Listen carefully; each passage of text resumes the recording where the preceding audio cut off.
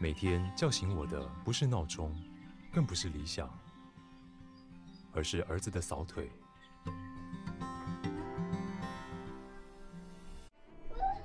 带小孩总有些时候，你觉得他们是不同的生物，无法沟通。例如喂他吃饭。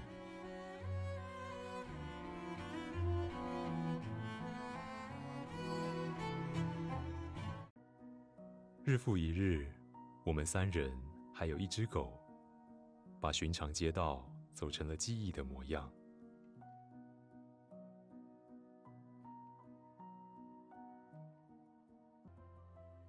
我想象他在意大利小镇望着天空，带着无垠的蓝与自由的一片天。